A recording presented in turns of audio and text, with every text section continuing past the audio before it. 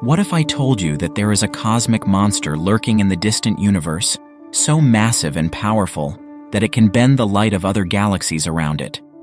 And what if I told you that we have just captured its most detailed portrait ever, thanks to the incredible vision of the James Webb Space Telescope? Well, that's exactly what we are going to talk about in this episode. Meet El Gordo, the largest and hottest galaxy cluster ever seen at its distance or beyond, and discover its secrets and mysteries with the help of Webb's infrared eyes.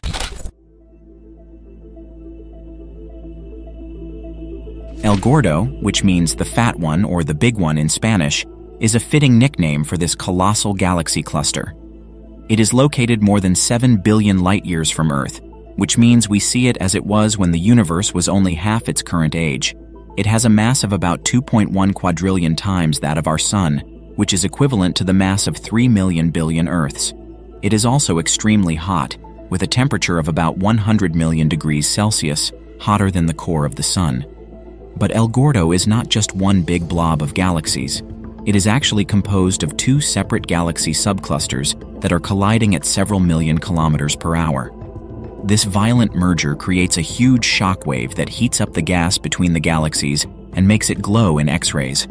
It also produces a powerful gravitational field that acts like a giant lens, magnifying and distorting the light of more distant galaxies behind it.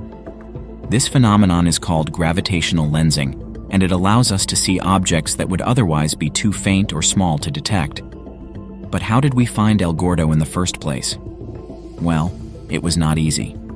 El Gordo was first discovered in 2012 by combining data from two ground-based telescopes, the Atacama Cosmology Telescope, ACT, in Chile, and the South Pole Telescope, SPT, in Antarctica.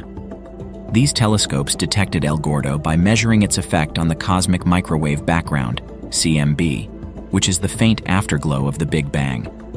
El Gordo's hot gas scatters some of the CMB photons, creating a distinctive signal known as the Sunyaev-Zeldovich effect. Later, El Gordo was observed by other telescopes, such as NASA's Chandra X-ray Observatory and the Hubble Space Telescope, which confirmed its massive size and revealed its complex structure and dynamics. However, these observations were limited by their wavelength range and resolution. They could not capture all the details and subtleties of El Gordo and its surroundings. That's why El Gordo was selected as one of the first targets for the James Webb Space Telescope, as it has several advantages over previous telescopes for studying El Gordo. First, it can observe in infrared wavelengths, which are ideal for seeing through dust and gas that block visible light. Second, it has a much larger mirror, which gives it sharper vision and a deeper reach into space. Third, it has a suite of four sophisticated instruments that can perform various types of observations, such as imaging, spectroscopy, and coronagraphy.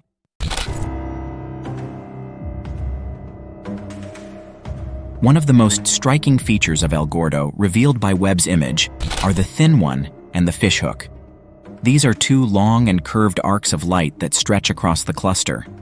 They are actually images of background galaxies that have been stretched and distorted by El Gordo's gravity. The thin one is located near the center of the cluster, where the two subclusters are colliding.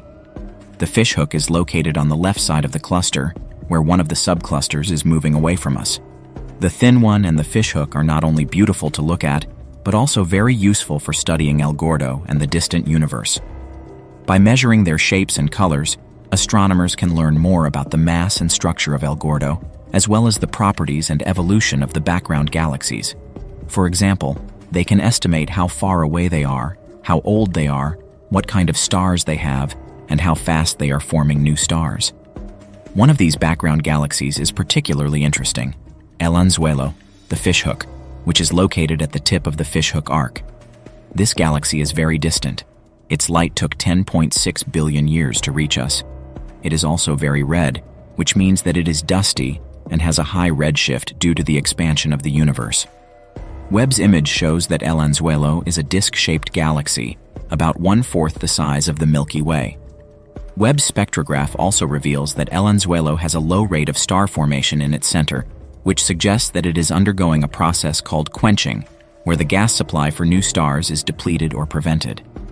Another background galaxy that caught Webb's attention is La Flaca, the Thin One, which is located at the end of the Thin One arc. This galaxy is even more distant than El Anzuelo. Its light took 11 billion years to reach us. It is also very faint and small, which makes it hard to see without the help of gravitational lensing. Webb's image shows that La Flaca is a blob-like galaxy, about one-tenth the size of the Milky Way. Webb's spectrograph also reveals that La Flaca has a high rate of star formation, which suggests that it is in an early stage of its evolution.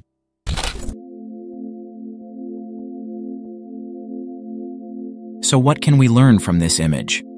Well, a lot, actually. This image is not only a stunning snapshot of El Gordo, but also a window into the history and future of our universe. By observing El Gordo with Webb, astronomers can test some of the fundamental theories and models of cosmology, such as how galaxy clusters form and grow over time, how dark matter and dark energy shape the large-scale structure of the universe, and how gravitational lensing can reveal hidden aspects of reality. For example, El Gordo poses some challenges for the standard model of cosmology known as Lambda CDM, which describes how matter and energy interact in an expanding universe dominated by dark energy. According to this model, galaxy clusters like El Gordo should be very rare at such early times in cosmic history, and their collision velocity should be much lower than observed. Therefore, Studying El Gordo can help us understand if there are any missing pieces or alternative explanations for our current understanding of the universe. Another example is the discovery of a single red giant star in El Gordo's image, nicknamed Quyllur, the Quechua word for star. This star is located near the center of the cluster, where it is magnified by about 100 times by gravitational lensing. This is the first time that Webb has detected a single red giant star beyond 1 billion light years from Earth.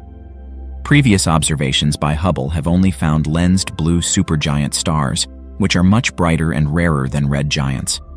Red giants are common stars that have exhausted their hydrogen fuel and expanded to a larger size. They are important for studying stellar evolution and nucleosynthesis, as well as for measuring distances in the universe. Thank you for watching this episode about Webb's amazing image of the El Gordo galaxy cluster. I hope you enjoyed learning more about this cosmic monster and its secrets. If you did, please like, share, and subscribe for more videos like this one. And don't forget to leave your comments and questions below. See you next time.